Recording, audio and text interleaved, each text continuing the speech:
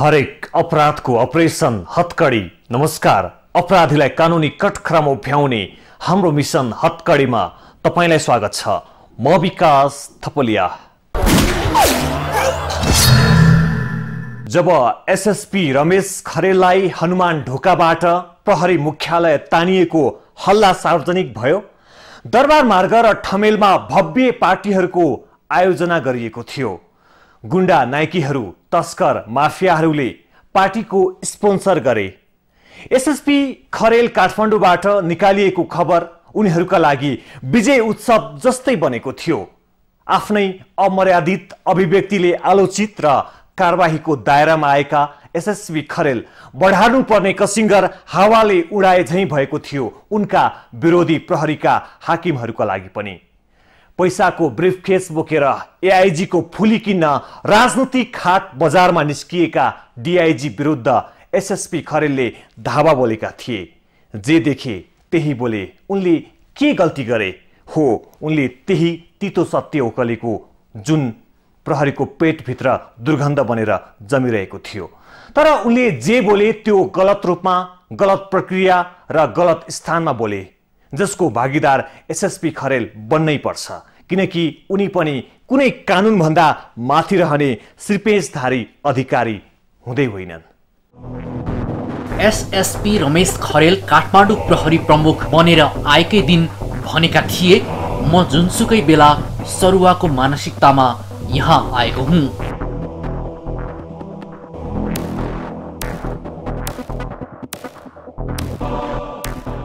Zero tolerance. तपाईँहरू अप्नाउनुहोस्।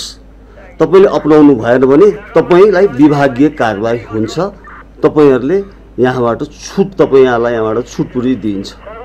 र मैले पनि भनेको छु मैले अप्नाउन सकिनँ भने म पनि यहाँबाट हिँड्छु। मलाई पनि मेरो सङ्गठन मभन्दा माथिको मेट्रो वानले मलाई कारवाही गर्छ मेरो आइजी साहबले मलाई कारवाही गर्नुहुन्छ। त्यो this applies to me also माघ पन्ध्र गते दोस्रो पटक काठमाडौँ प्रमुखको जिम्मेवारी लिएका एसएसपी खरेलले यसपटक हनुमान ढोकामा हनिमुन अवधि अर्थात् सय दिन मात्र बिताउन पाए। एसपी हुँदा खरेलले काठमाडौँमा राम्रो काम गरेको भन्दै खुब चर्चा पाएका थिए।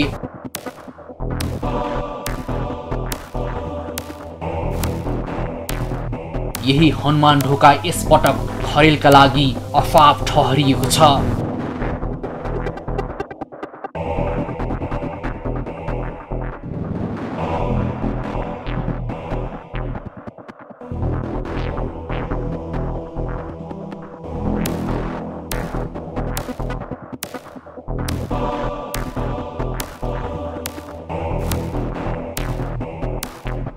जेठ दस गते शनिबार काठमाडौँमा भएको यो भ्रष्टाचार विरुद्ध काम गर्नेलाई सम्मान गर्न आयोजित यो कार्यक्रममा एसएसपी खरेललाई पनि सम्मान गरिँदै थियो। कार्यक्रममा एसएसपी खरेलले परराष्ट्र मन्त्री पाण्डेलाई सम्बोधन गर्दै भने भ्रष्ट डिआइजीहरू एआइजी बन्न पैसाको ब्रिफकेस बोकेरै नेताको घर घरमा धाइरहेका छन्। एउटा कुरा मैले भन्दाखेरि फेरि यसले अलि तरङ्ग लिन सक्छ। म भन्छु नेपाल प्रहरीको अब प्रमोसनको बेला आएको छ। सात महिनापछि बल्ल गाँठो फुक्यो नेपाल प्रहरीको। माननीय मन्त्रीज्यू भ्रष्टाचारीलाई प्रमोसन नदिदिनुहोस्। मलाई आशा छ यति भनेपछि उहाँलाई पुग्छ होला। यति भनेपछि उहाँलाई पुग्छ। अहिले सुटकेसहरू बोकेर पावर सेन्टरमा जाने चाकरी गर्ने मलाई प्रमोसन गर्दै अथवा ठेकदारहरूले पैसा उठाएर फलानुलाई पैसा प्रमोसन गर्दै भनेर दौडधुप चलेको छ हजुर कहाँ पनि खुब आए होला। जो हजुर कहाँ भिजिट गर्छ ती ती अपर्च्युनिस्टहरू हुन्। पावर सेन्टरमा जाने कर्मचारी प्रहरी अपर्च्युनिस्ट हुन्। यसले तपाईँलाई मात्र होइन हाम्रो नेपाल आमालाई खोक्रो बनाउँछ। कृपया यसमा ध्यान दिइदिनु होला नेपाल प्रहरीको प्रमोसनबाट भ्रष्टाचारलाई प्रमोसन नदिएर इमान्दारलाई प्रमोसन दिएर एउटा एउटा एउटा एउटा इक्जाम्पल सेट गरिदिनुको लागि अनुरोध गर्दछु। खरेलको खरो भाषण गर्दा एआइजीका एक दावेदार विज्ञान राज शर्मा मञ्चमै थिए। खरेलको भाषणलाई लिएर तत्काल प्रतिक्रिया देखियो। सङ्गठनमा एसएसपी खरेलको विरोध सुरु भयो।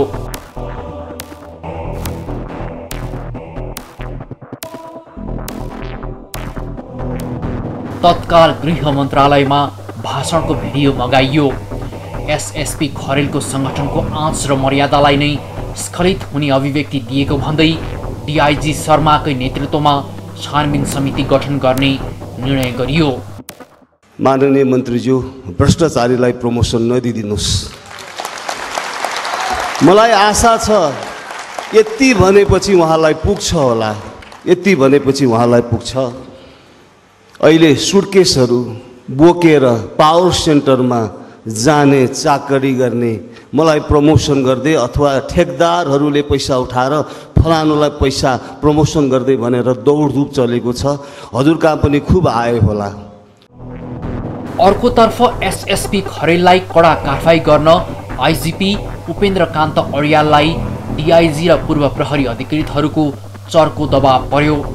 सार्वजनिक रूपमा जथाभावी नबोल्न पटक पटक लिखित चेतावनी दिँदा पनि नसुध्रिएका खरेललाई कडा कारवाही गर्न डिआइजीहरूले आइजिपी अर्याललाई चेपुवामा पारेका छन्।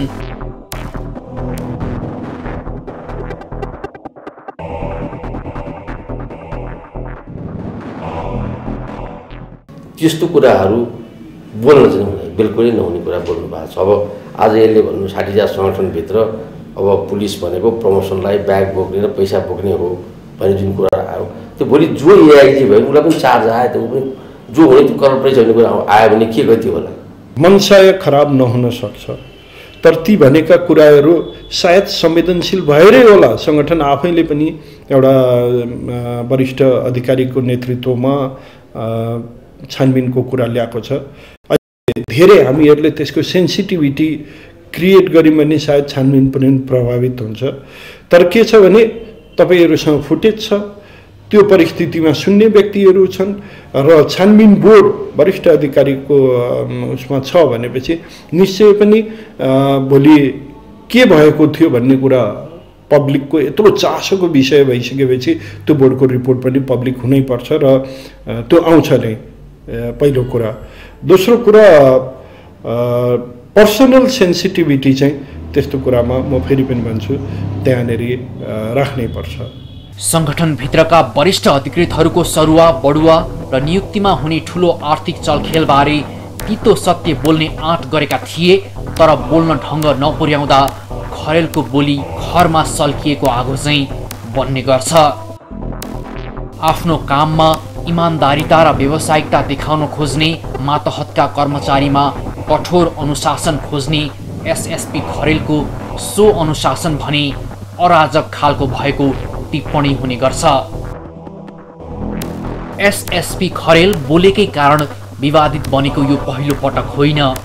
यिनले बेला बेलामा आफ्नै हैसियत नै बिर्सिएर दिने अभिव्यक्ति चर्चाको विषय बन्दै आएको छ। प्रधुम्न कार्कीको नाम आउँछ। दिवस लोहनी भन्ने एउटा एसपी साहब अहिले विदेशमा हुनुहुन्छ। उत्तम सुवेदीहरू विश्व पोखरेलहरू यस्ता अफिसरहरू प्रशस्त छ अहिलेकै आइजिपी साहब राजेन्द्र सिंह भण्डारी सुरेन्द्र बहादुर शाह विज्ञान राज शर्मा जस्ता अफिसरहरू पनि छन् नि हाम्रा। प्रहरी मुख्यालयले पटक पटक सार्वजनिक रूपमा सङ्गठनको नीति विरुद्ध नबोल्न लिखित निर्देशन नै दिएको छ। तैपनि जब खरेल बोल्छन् यिनी आफ्नो हैसियत बिर्सिन्छन्।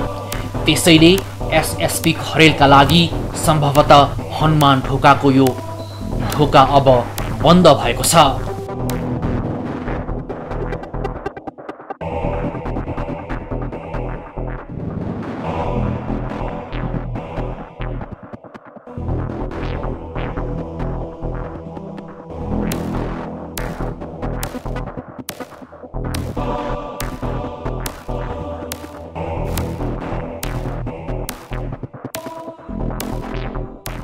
जनताको आँखामा एसएसपी खरेल सत्यनिष्ठा र प्रहरीभित्रको भ्रष्टाचार विरुद्ध लड्ने एक इमान्दार सिपाही हुन्। अपराधलाई राजनीतिसँग जोडेर सजायबाट उन्मुक्ति दिने नेपालको फोहोरी राजनैतिक प्रवृत्तिको चुनौती बन्ने थोरै वर्दीधारीमा पर्छन् एसएसबी खरेल। तर उनका ब्याजी र विरोधी प्रहरीका हाकिमहरू खरेलको देखाउने र चपाउने दाँत बेग्ला बेग्लै भएको कमेन्ट गर्छन्। कानुनलाई हातमा लिन खोज्ने उप कठोर देखिने खरेलले आफू पनि त्यही कानुनको पालक मात्र हो भन्ने चाहिँ भुलेका छन्। आफू सिसाको महलमा बसेको बिर्सिएर अरूलाई ढुङ्गा बसाउने खरेल प्रवृत्तिको आलोचना गर्नेहरू सङ्गठनबाटै खरेललाई पत्ता साफ बनाउने षड्यन्त्र रच्दैछन् देखाउँछौ ब्रेकपछि।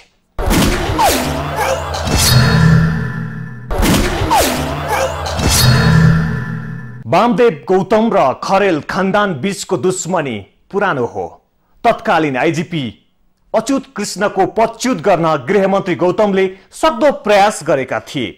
फेरि वामदेव खरेलकै पछाडि लागेका छन्। आइजिपी बन्ने रेसमा रहेका एसएसपी खरेलको बाटोमा वामदेवले भुवाङ पार्ने लगभग पक्का छ। सङ्गठनमा पनि खरेलका समर्थक अल्पमतमा छन्। खरेललाई समर्थन र साथ छ। तर उनीबाट शान्ति सुरक्षाको आश गरेकाहरूबाट मात्र। विदेशिएका नेपालीहरूले सामाजिक सञ्जालहरूबाट कमेन्ट लेख्छन् माथि चढ अघि बढ। द रियल हिरो रमेश खरेलले तस्विरहरूमा प्रशस्त लाइक पाउँछन्।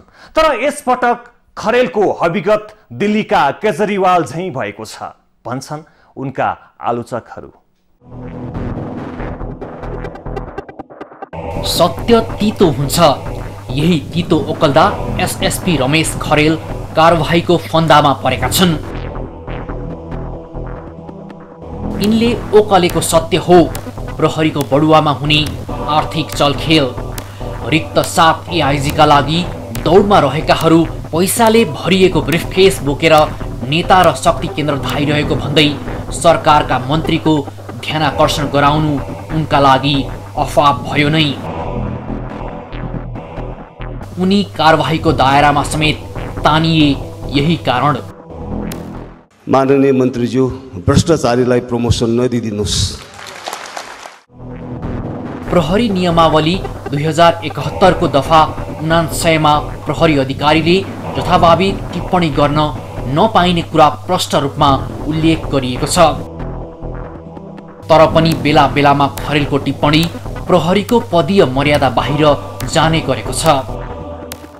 सङ्गठनका सक्रिय सदस्य त्यो कुरा बोल्न थालेपछि अब सरकार सिरियस हुनु पर्यो सङ्गठन सिरियस हुनु पर्यो किनभने यसको निगोल गर्दै ठिक छ उहाँले वास्तविक कुरा भने होला। तर यो निगोल त गरिदिनु पर्यो अब। त्यसमा जुन कुराहरू आएको छन् निश्चय पनि ती संवेदनशील छन्। ती कुरा ठिक छन् बेठिक छन् त्यो आफैमा छ ठिक भन्ने कुराहरूमा पनि हामीहरूले कुनै न कुनै प्रामाणिक कुराहरू जुटाउनु पर्ने हुन्छ।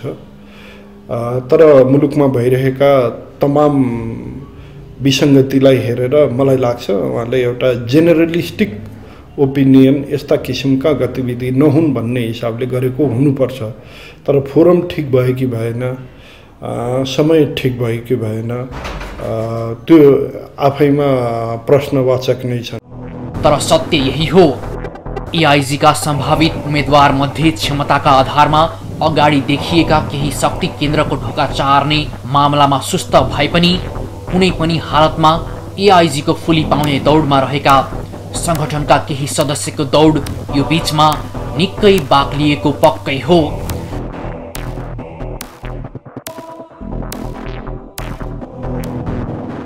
सात पदका लागि तेह्रजना शक्ति सङ्घर्षमा रहँदा क्रम सङ्ख्यामा निकै पछाडि परेका अनि कार्यक्षमतामा समेत अब्बल नदेखेकाहरूका लागि यही दौडमा खटिनुको अर्को विकल्प पनि के होला र? खरेलले यही सत्य ओकलिदिए तर यही सत्य उनका लागि धार बन्यो कारवाहीको कारण बन्यो। अहिले सुटकेसहरू बोकेर पावर सेन्टरमा जाने चाकरी गर्ने मलाई प्रमोसन गर्दै अथवा ठेकदारहरूले पैसा उठाएर फलानुलाई पैसा प्रमोसन गर्दै भनेर दौडधुप चलेको छ हजुर कहाँ पनि खुब आयो होला। जो हजुर कहाँ भिजिट गर्छ ती ती अपर्च्युनिस्टहरू हुन्। पावर सेन्टरमा जाने कर्मचारी प्रहरी अपर्च्युनिस्ट हुन्। यसले तपाईँलाई मात्र होइन हाम्रो नेपाल आमालाई खोक्रो बनाउँछ। कृपया यसमा ध्यान दिइदिनु होला नेपाल प्रहरीको प्रमोसनबाट भ्रष्टाचारलाई प्रमोसन नदिएर इमान्दारलाई प्रमोसन दिएर एउटा एउटा एउटा एउटा इक्जाम्पल सेट गरिदिनुको लागि अनुरोध गर्दछु। चलिने चला होला। सबैले चलाएको छैन। मै भयो नि खराब मान्छे थोरै छन्। कसैले त्यो गए पनि होला। तर आज होल त्यो चिजमा नलागे मान्छेलाई पनि आक्षेप गर्ने काम त गर्नु भएन नि। जसले गरेको त्यसलाई कारवाही गर्नु पऱ्यो खोइ त अहिलेसम्म यसले पैसा बुझाएर आयो भने त कहीँ पनि आएको छैन त्यसो त सङ्गठनभित्रैका आलोचकहरूले खरेल काठमाडौँका प्रहरी प्रमुख या सङ्गठन प्रमुख भन्ने प्रश्न खडा गरेका छन्। सस्तो लोकप्रियताका लागि खरेलले मिडिया मार्फत खुलेरै राज्य संयन्त्र कमजोर छ भन्ने अभिव्यक्ति दिएको आफूभन्दा सिनियर अधिकृतहरूको मूल्याङ्कन गर्दै जथाभावी बोलेको मिडियाबाटै सीमित अधिकृतको प्रशंसा गर्दै बाँकीको अवमूल्यन गरेको राजनीतिक पूर्वाग्रही खालका अभिव्यक्ति दिएको अभियोग एसएसपी खरेल उप लागेको छ। सङ्गठनको पनि केही नीति नियम त हुन्छ नै। सार्वजनिक कार्यक्रममा एसएसपीको हैसियतमा उनले कुनै व्यक्ति नतोकी कुनै प्रमाण प्रस्तुत नगरी बडुवाका लागि आर्थिक चलखेल भएको आरोप लगाउँदा सङ्गठनको नीति नियम चेन अफ कमान्ड तोडिएकै हो। पुलिस चिफलाई सोध्नुभयो तपाईँ मलाई भन्दा। उहाँलाई सोध्नुभयो किन यस्तो भयो भनेर। त राम्रो चिज होइन यो कुराहरू। पुलिसभित्र सङ्गठनभित्र अनुसार टोडियो भने चेन अफ कमान्ड मेन्टेन गर्न गाह्रो हुन्छ। के नियतले कुन प्रसङ्गले बोलेको हो त्यसको सूक्ष्म विश्लेषणको आशा गर्नु निरर्थक बन्छ। एसएसपी खरेलको सार्वजनिक धारणा सत्य निकट भए पनि त्यही सङ्गठनको मर्यादा र नीति नियमले उनलाई अनुशासनहीन व्यवहार गर्ने प्रहरी अधिकारीको सूचीमा पुर्यायो। काठमाडौँको प्रहरी प्रमुखका रूपमा एसएसपी खरेलले यसपटक पनि फुलमाला लगाएर विदाई हुने विश्वास राखेका थिए। तर कारवाहीको कोर्राको निलडाम ढाडमा बोकेर सरुवा भए।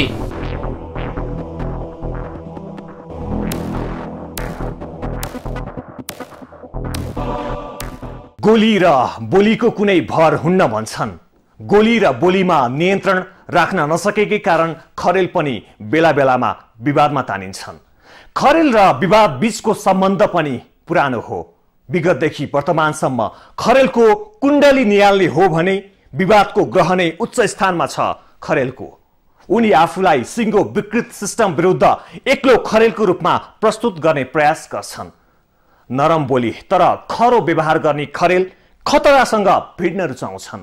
त्यसैले पनि खरेल चर्चा र डाहा गर्ने पात्र बनेका छन्। तत्काल उत्तेजित भइहाल्ने खरेल प्रवृत्ति यसपटक पनि अन्याय र भ्रष्टाचार विरुद्ध चुपचाप रहन सकेन र जाइलागे।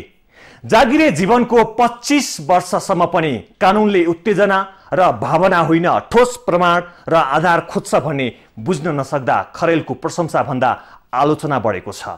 अनियमितता भ्रष्टाचार र चाप्लुसीको खरले छाएको सङ्गठनको घरमा खरेलले आगो त लगाए तर त्यही आगोले उनलाई डराउँछ भन्ने उनले सायदै सोचेका थिए। देखाउँछौ ब्रेक पछि।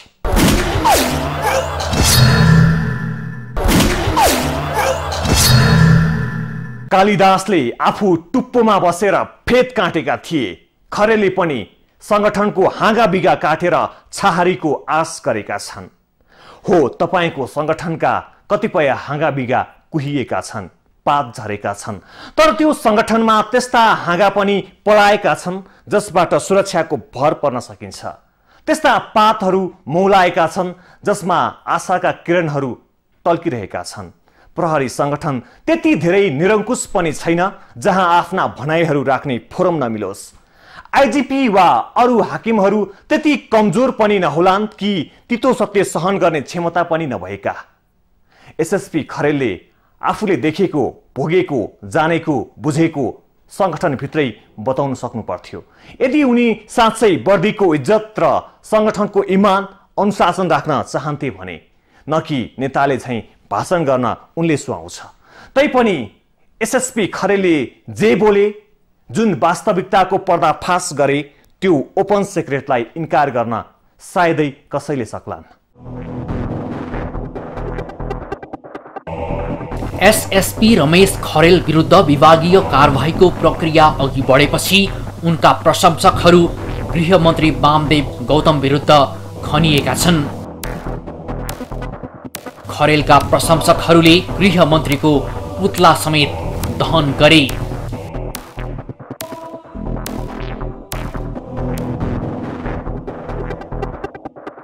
समर्थकहरू फेसबुक मार्फत खरेललाई बचाउन आफ्ना तरिकाबाट अभियानमै उत्रिएका छन्।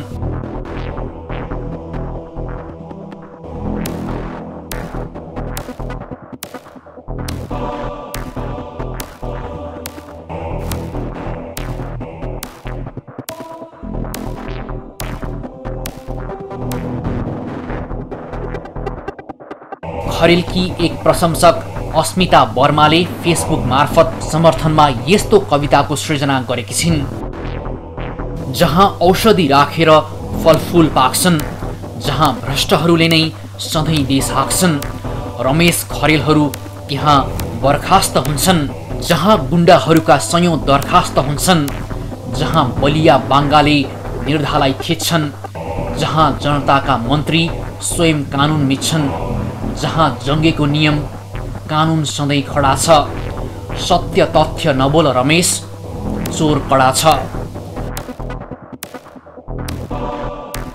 पत्रकार गोकर्ण खतिवडाले फेसबुकमा एसएसपी खरेलले सङ्गठनका कुनै व्यक्तिलाई नभई प्रवृत्ति उप प्रहार गरेको स्ट्याटस पोस्ट गरेका छन्।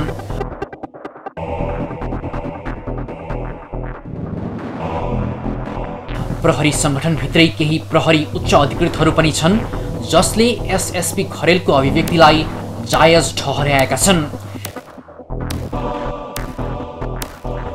एआइजी बडुवाको पहिलो नम्बरमा रहेका डिआइजी राजेन्द्र सिंह भण्डारीले खरेलको अभिव्यक्तिको खुलेर प्रशंसा गर्दै फेसबुकमा यस्तो स्ट्याटस पोस्ट गरेका छन् telling a truth is a revolution act if you have a goals mouth you have right to speak truth at any condition and circumstances. Agreed?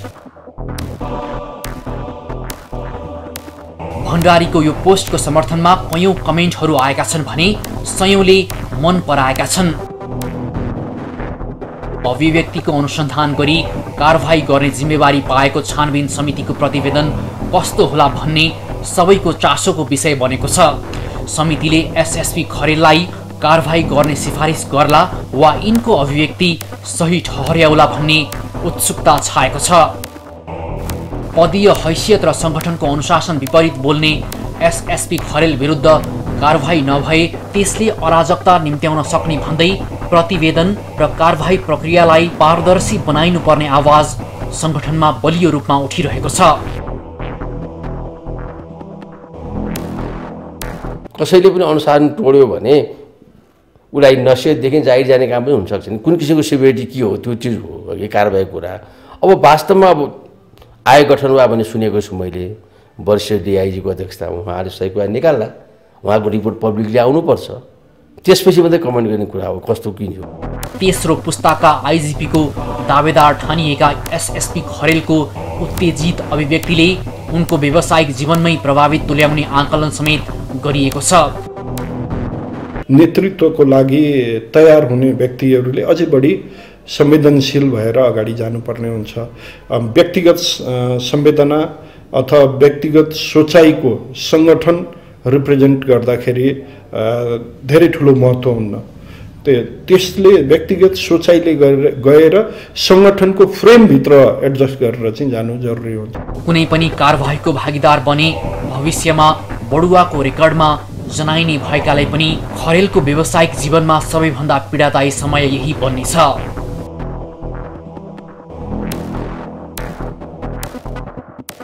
प्रहरीका साधुहरू भन्छन् एसएसपी खरेलको ग्रह शान्ति गर्नुपर्छ।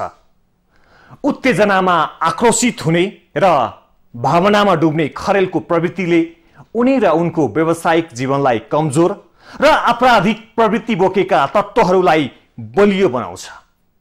प्रहरीका ज्योतिषहरू एसएसपी खरेललाई हनुमान ढुकाबाट स्थानान्तरण गरी नक्साल सार्नुपर्ने जिकिर गर्छन्। प्रहरीका पण्डितहरू भन्छन् एसएसपी खरेललाई अहिले चलाउनु पाप हो। उनले त्यस्तो के गल्ती गरे? के गलत बोलेर उनलाई टोकिरहनु? तिथि र बार मिलेको छैन तर प्रहरीको पुरोहितहरू एसएसबी खरेलको सरुवाको साइज जुराउन कडा परिश्रम गरिरहेका छन्। उनीहरू जेसुकै गरून्। धर्म त्यही हो कि कसैले गलत गरेको छ भने सजाय र राम्रो गरेको छ वा राम्रो गर्ने अभिप्रायले पनि नराम्रो भएको छ भने पनि त्यो क्षम्य हुनुपर्छ। अपराधीलाई कानुनी कठखरमा उभ्याउने हाम्रो मिसन हत्कडी जारी छ। नयाँ श्रृङ्खला हेर्न नभुल्नुहोला। नमस्कार।